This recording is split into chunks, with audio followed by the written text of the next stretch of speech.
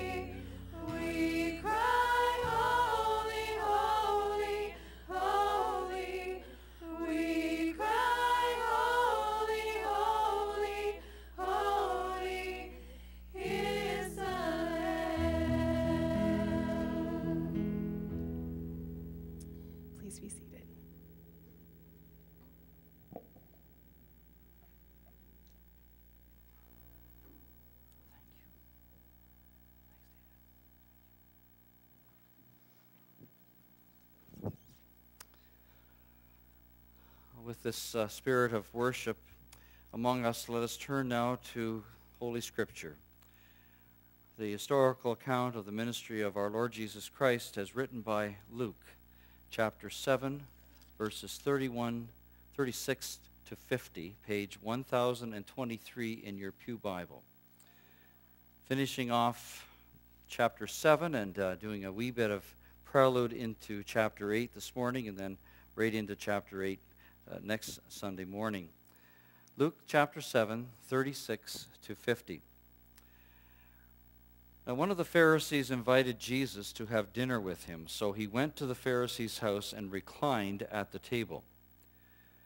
When a woman who had lived a sinful life in that town learned that Jesus was eating at the Pharisee's house, she brought an alabaster jar of perfume, and as she stood behind him at his feet weeping, she began to wet his feet with her tears.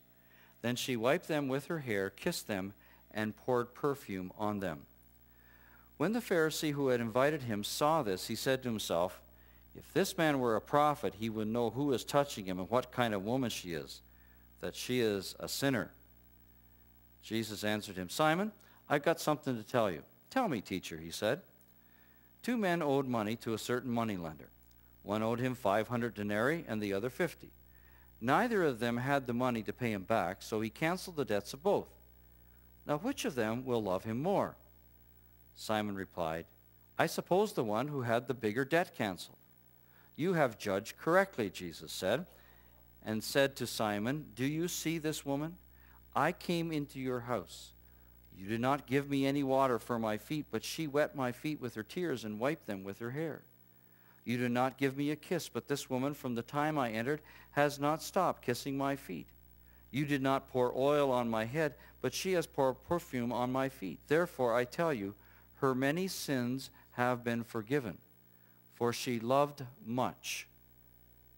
But he who has been forgiven little loves little. And Jesus said to her, Your sins are forgiven. The other guests began to say among themselves, Who is this who even forgives sins? Jesus said to the woman, Your faith has saved you. Go in peace. Lord Jesus, would you help us this morning to see again or maybe for the very first time, what forgiveness really is all about. Thank you so much for the forgiveness that you offer to us. In your name, amen. You can tell a great deal about a person by the places they eat and the people with whom they eat. That's true of Jesus, too. Jesus is the invited guest at the home of Simon the Pharisee. It's a big dinner party. This man, Simon, has a lot of authority in this little town. He's a Pharisee, and he's in the upper crust. All of a sudden, into the midst of this dinner party comes an uninvited sinner. And the language there means that this woman is a prostitute. Conscious of her need for forgiveness because of her past life, she comes looking for Jesus. As she enters Jesus' presence, she feels the load of sin coming off her back, and she begins to weep. As the tears of contrition and repentance flow, Jesus' feet become wet with her tears. Then she wipes Jesus' feet with her hair, kisses them, and pours an alabaster jar of perfume on them. Simon the Pharisee, he's thinking. Problem is that Jesus is reading his mind. Verse 39, if this man were a prophet, Simon thinks to himself, he would know who this woman is, who is touching him, and what kind of a woman she is, that she is a sinner. Knowing Simon's thought, Jesus decides to tell him a story which provides the meaning to this unplanned intrusion into Simon's dinner party. A loans manager at Kawartha Credit Union had two customers who were in default of their loans. One man owed $30,000, 500 denarii, and the other owed $3,000, 50 denarii. Neither of them were ever going to be paying those two amounts back. But rather than foreclosing and forcing these two men to declare bankruptcy, this kind and merciful loans manager canceled both debts. I hope that you run into one of those kinds of people somewhere down the road of your life. $30,000 becomes zero. $3,000 becomes zero. Jesus asked Simon, which man will love this kind and merciful loans manager the most? Simon's response, which Jesus says is correct, is, I suppose the one who had the bigger debt canceled. Correct. Point that Jesus is trying to make in this parable is this. I'll give you my thesis at the beginning and then try to defend it. Here's the thesis. Our degree of devotion reflects our depth of love. Let me say it again. Our degree of devotion reflects our depth of love. What happened in the home of Simon the Pharisee is proof positive of this principle. Let's look at the two main characters in this story. The woman, first of all. We do not have any indication as to where this woman first heard Jesus of Nazareth speak, but somewhere she had heard the message of the need for and the possibility of the forgiveness of her sins. And now Jesus is back in her hometown. And he's at the home of, the, of Simon the Pharisee, and she learns that. She could wait no longer. In the midst of a private dinner party, she went in search for the removal of her sins. And she found what she'd been seeking. Your sins are forgiven, Jesus says to her. The guests at the party say, Who is this that even forgives sins? Jesus knows what they're thinking and saying. He says to her, just so everyone will get it, just so we'll get it 20 centuries later, your faith has saved you. Go in peace. But now Simon the Pharisee, let's look at him for a moment. Uh, his story is very different. His clothing said that he was a Pharisee. He was dressed for the part. He was a religious person. By definition, because of the clothes he was wearing, he was a righteous man. He was already good in the sight of God from his perspective. He did not need what Jesus of Nazareth had to offer. In fact, Simon didn't even think that this Jesus was a significant rabbi. It was customary for a special guest to be offered water to wash his feet, olive oil to wash his feet, and, and hair, and a greeting, a greeting, uh, the Middle Eastern custom still that we see when, when, inter, when leaders greet each other, they kiss each other on each cheek. Well, he hadn't done that either. Simon didn't do any of these things because Jesus was nothing special. He was just a garden variety rabbi, certainly not the Messiah. Simon felt no sense of his own sinfulness, and he saw nothing in Jesus' life or words that could help him. Jesus' point in this parable? Our degree of devotion reflects our depth of love. The woman loved Jesus much because she had such a huge need in her life. To the woman, Jesus says, Your faith has saved you. Go in peace. Simon loved Jesus? Not at all. So there's no devotion.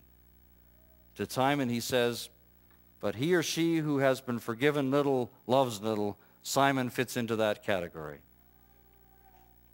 So the question then is raised does my life reflect the level of my life of my love for Christ? Does your life reflect the level of your love for Christ? Does my degree of devotion reflect my depth of love? Absolutely, it does. Either for good or for ill. Our degree of devotion will reflect our depth of love for our Lord. And too often, for all of us, our degree of devotion to Jesus, our depth of love for him, is pretty low. Why? What causes me to lose sight of the magnitude of the mercy of God and let my life become lukewarm to his grace? This morning I'd like to offer three reasons why that happens. The first is one word forgetfulness. Or if, you'd like three words, failure to remember. How quickly we forget what our lives were like before Jesus came. Go back to your pre Christ life right now in your mind. Remember being restless, searching. One of the things I remember very clearly is a sense of guilt, even as a young person, as a child. Sense of God was holy and I was not. I remember wondering what would happen if you were to die. Was I really going to heaven? See, one of the great things about the gospel is that salvation includes the healing of our memories. And not only are our memories healed, but God himself chooses not to remember our sins too. But there is a place for remembering what life was like before Christ so that we can compare it to life now. And the truth is, there's no comparison. Ah, the children of Israel, they went through this too. They got across the Red Sea and they got into the desert and they thought, oh boy, Egypt was a lot better than this. No, Egypt wasn't better than this. They were slaves in Egypt. They'd forgotten what it was like to live the life that they lived in Israel, in, in Egypt, before they got across the Red Sea. Know, they had 40 years of wandering and 40 years of desert that we sang about this morning. But Egypt wasn't better. And your Egypt isn't better either. Don't kid yourself. A rerun of that is not what you need. Even if you haven't got a, a, a, a story that involves all kinds of terrible, terrible things, if you think about where your life would be, where you would be in your own story right now, if Christ hadn't invaded your life, that's as good as remembering what life was like before. So we forget. We forget what our lives were like, or we fail to comprehend what they would have been like if Jesus had not come into our lives. Here's the second reason why we become lukewarm to our, in our response to the gospel of the grace of God. It's tied up in this parable that our Lord told. And, and it is linked to the next parable that he's going to tell, which I'm going to deal with next Sunday morning. But just to give you a little foretaste of where we're going, the second reason that we become lukewarm in our response to the grace of God, I've called the cares of the world. Not my words, they're Jesus' words. And in the next paragraph in Luke's Gospel, Luke chapter 8, verses 1 to 15, we have the parable of the sower and the seed. Only it's not really a parable of sower and seed. It's, it's actually the parable of the hearers. And the third kind of, of hearers, the third casting of the seed, is amongst the thorns. And eight, uh, chapter 8, verse 7 says that the seed is thrown amongst the thorns. In case that we are in some way going to miss the interpretation, Jesus himself interprets what this means. In 8.14, Luke 8.14, he says, The seed that fell among thorns stands for those who hear, but as they go on their way, they are choked by life's worries, riches, and pleasures, and they do not mature. Too often, our degree of devotion to Jesus is pretty low because our priorities aren't where they should be. The lure of the world and the deceitfulness of riches choke the plant of faith. Our love for Christ is suffocated by an avalanche of excuses. Which leads me back to the parable that we looked at this morning and to the third reason. And the third reason that I would suggest that we miss out or we become lukewarm to the grace of God in our lives is we fail to understand that these two debtors were both debtors. These two debtors both were in debt. One owed 30,000 and the other owed 3,000. But the fact is they were both going to the same place.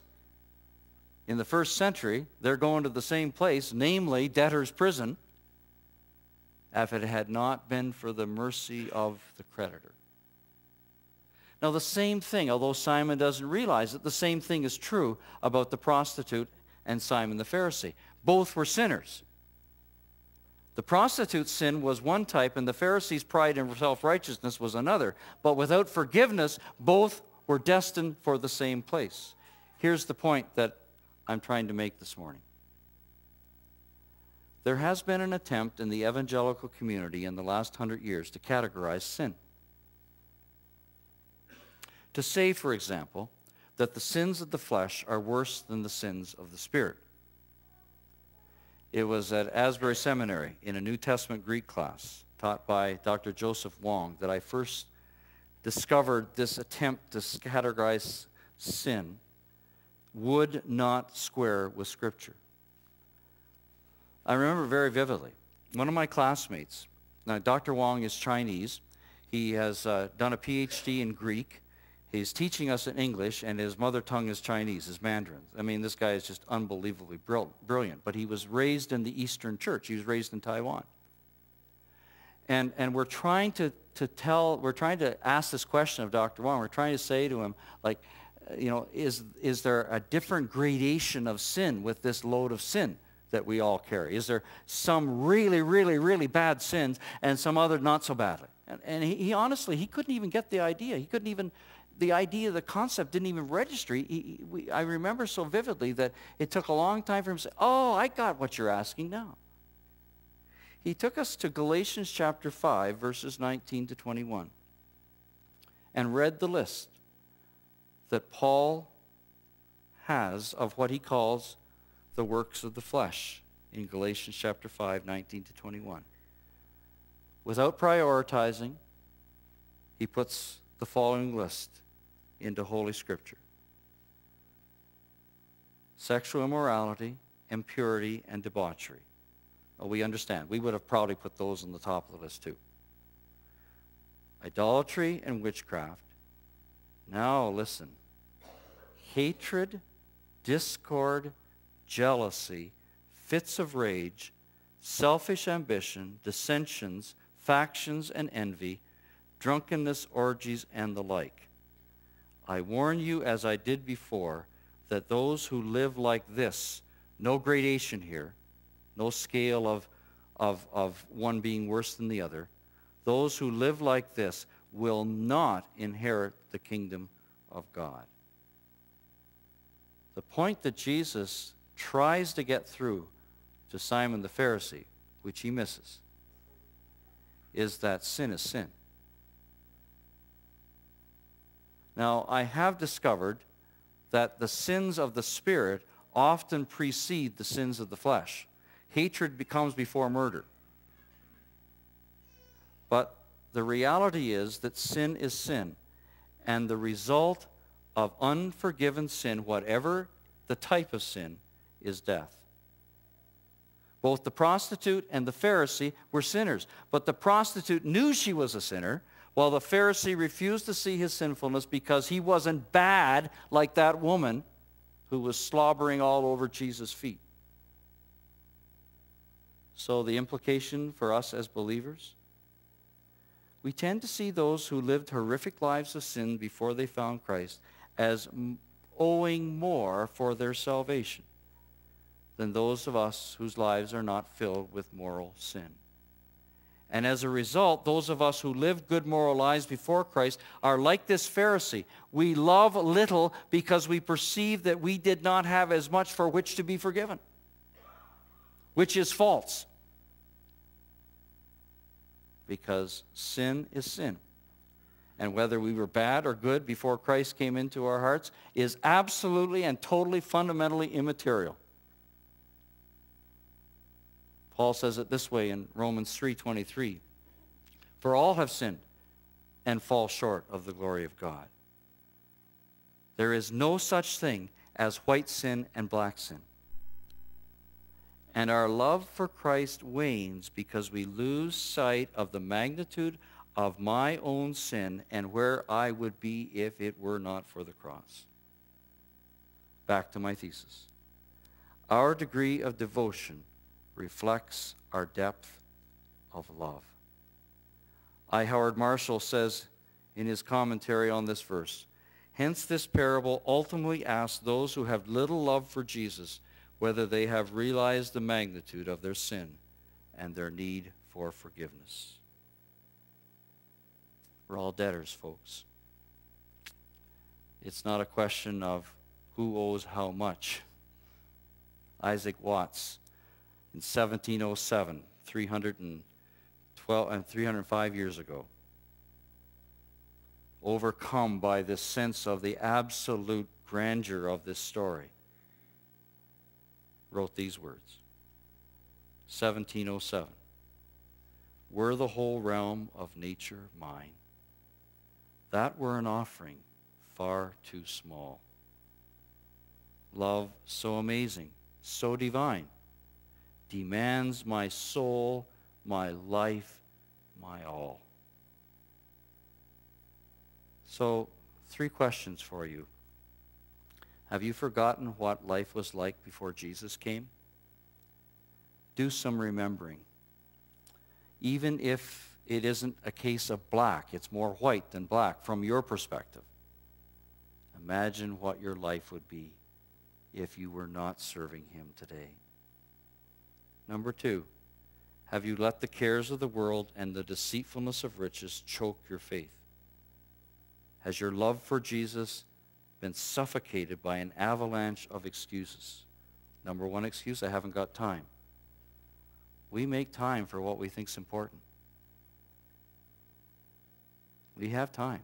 We all have the same amount of time. But what we think is important will be reflected in how we use that time. Number three, have you little love for Jesus? Do I have little love for Jesus because I have dismissed or forgotten the magnitude of my sin? I've been uh, reflecting on my family story in these hours since the trip to Markham Stouffville Hospital on Wednesday with my dad.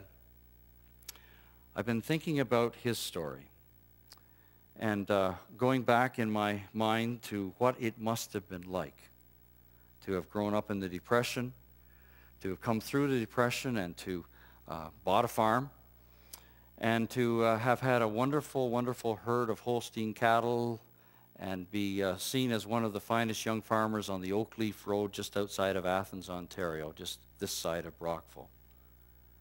And then begin to wrestle with God's call in his life.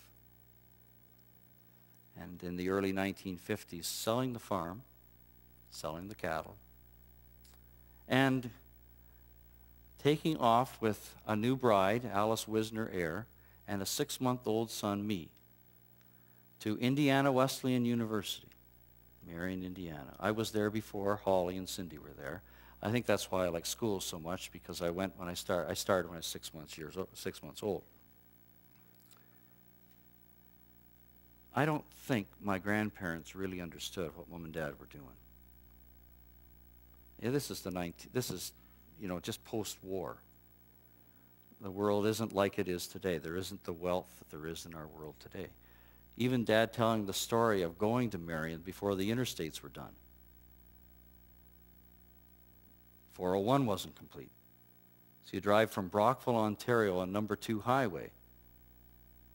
And then you cross the Ambassador Bridge and go across Michigan and then south into northern Indiana with no interstates. I've been thinking about that. I, have I've wondered what my life would be like if Dad hadn't done that. I question whether I'd be here today, in all honesty, because it would have been a totally different trail that, that they would have taken. I maybe a third or fourth generation farmer on the Oakleaf Road. See, our degree of devotion reflects our depth of love. And when God gets a hold of us and shows us who we can be in him, then we throw everything aside. We throw everything aside. And we say, whatever you have, Lord, it's fine. Dr. Harold Ockenga writes these words, For one who is greatly forgiven, no act of service, worship, or sacrifice is too great to express his or her love. Let us pray.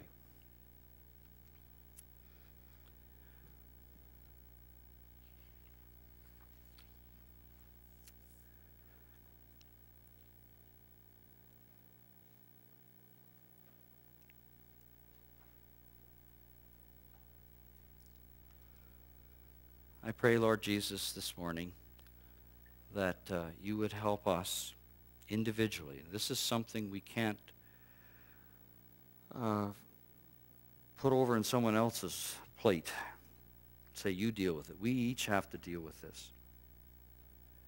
Would you help each of us this day to ask ourselves just what the degree of our devotion is and how it reflects our love for you. The words, I surrender all, are the words that each of us have to say. It's going to be a different all. That all will be different for each of us. But there does come a moment where the idea of surrender is the only way to really deal with what it means to be devoted to you. Lord, I thank you for my parents and for the decisions that they made early in their marriage that have resulted in the life that I have had, which has been an absolutely fabulous life. Thank you for all that you have done for me. And I recognize anew and afresh that that probably would not have happened if it weren't for the obedience of my mom and dad. And I pray that you help each of us at whatever generational level we are to understand that our obedience does have direct connections to the ones that follow. So we pray that uh, you would have your way and that you would help us to respond to your Holy Spirit in obedience. In Jesus' name, Holly's going to lead us. We're going to sing. If you would like to use the altar as a place of prayer, you are more than welcome to do that. Please stand with us as we sing.